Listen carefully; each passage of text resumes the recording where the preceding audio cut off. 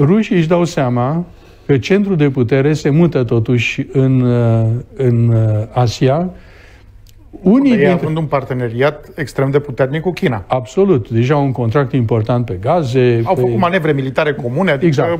lucruri care nu s-au Rușii însă, rușii însă sunt conștienți de faptul că au o frontieră foarte lungă cu China. Iar chinezii au o dezvoltare demografică care ar putea la un moment dat să creeze probleme.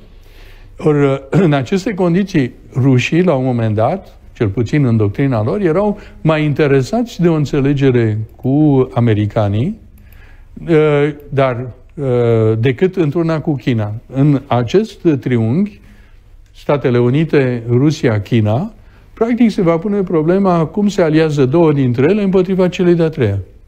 Și aici este, de fapt, dificultatea pe care o au americanii, pentru că ei ar fi fost interesați de o relație mai bună cu rușii, dar ucrainienii sunt uh, băiatul ăla care umblă cu chibritul aprins într-o cameră plină cu gaze. Deci uh, și le creează, o, au creat, după, în mod evident, o problemă care uh, și pentru ruși și pentru americani. În ce sens au creat o problemă? Că trupele rusești nu le-au mutat ucrainienii la graniță.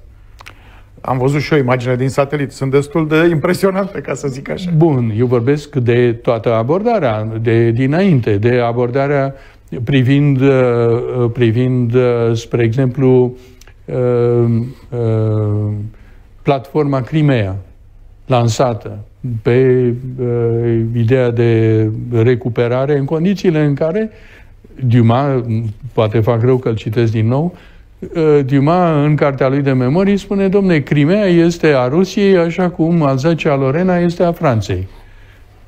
E șocant, uh, da. uh, șocantă afirmația asta, dar... da. El a spus... Interesantă, nu, da, corect, da. Dar, practic, asta arată că, de fapt, lucrurile sunt foarte complicate. Sigur că pentru ucrainieni, Așa cum uh, au făcut uh, și în relația cu uh, minoritățile. Așa cum au făcut și de asta... Iar aici statul român a abandonat de mult orice absolut. bătălie. Iar rușii ne spuneau într-o vreme, păi copii, totuși, voi nu știți că teritoriile alea de care vorbiți voi cu Ribbentrop, Molotov și nu știu mai ce, nu mai sunt la noi, ci sunt la ucrainieni? Și deci vă certați cu noi, dar teritoriile alea sunt acolo. Și înțeleg că ministrul de externe ucrainian i-a arătat uh, lui Blinken uh, da. o hartă în care figurează chiar mai mult decât teritoriile pe care le-au luat de Foarte la interesant, Sovietică. nu știu dacă ați văzut uh, declarația de, cred că duminică a fost, declarația președintelui ucrainean, o declarație pe Twitter, să nici nu mai știu că sunt declarații sau sunt, în fine, Facebook-ul, Twitter-ul, nu mai știu ce, când un șef de stat zice ceva pe Twitter, eu nu știu ce e, e declarație oficială, e declarație, nu știu e, ce. Un punct de vedere, da, normal că e oficial. Că nu, uh, o chestie foarte interesantă, domnule, să ne calmăm cu trupele astea și cu... Că întotdeauna rușii au făcut manevre, domnule, și presa umflă foarte, foarte interesant, și, domnule, și presa și de la noi, și presa mondială umflă foarte mult uh, povestea asta. Și președintele Ucrainei spune că e umflată povestea asta. Eu nu mai știi ce să mai înțelegi. Uh, pe de o parte, se vaietă între ghilimele că nu sunt uh, ajutați pe cât uh, ar spera. Pe de altă parte, spune că e umflată de presă. Ce problema, să mai problema până la urmă este foarte clară. Rușii spun că sfârșit cererile lor către americani și către NATO reprezintă un pachet și că nu negociază bucăți Secvență, din da? pachetul da? ăsta. Pe de altă, eu cred că până la urmă se va ajunge la lucrul ăsta. Ei, în esență, spun următorul lucru. Domne, Ucraina și Georgia, deci voi ați uh, NATO, ați luat uh, Germania de Est, pe urmă ați luat grupul Visegrad, ați mers în continuare spre Est, ați luat țările Baltice, ați luat România, ați luat Bulgaria și ați luat, deci țările care erau uh, în sfera de influență rusească, dar acum vreți să intrați uh, la noi în, uh, în curte.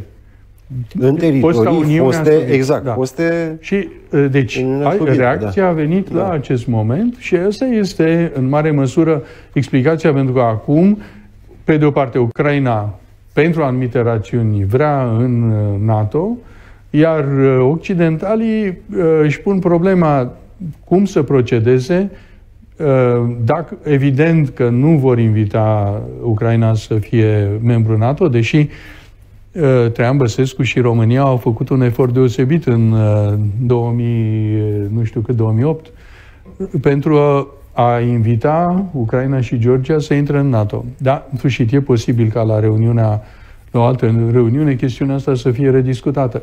Probabil.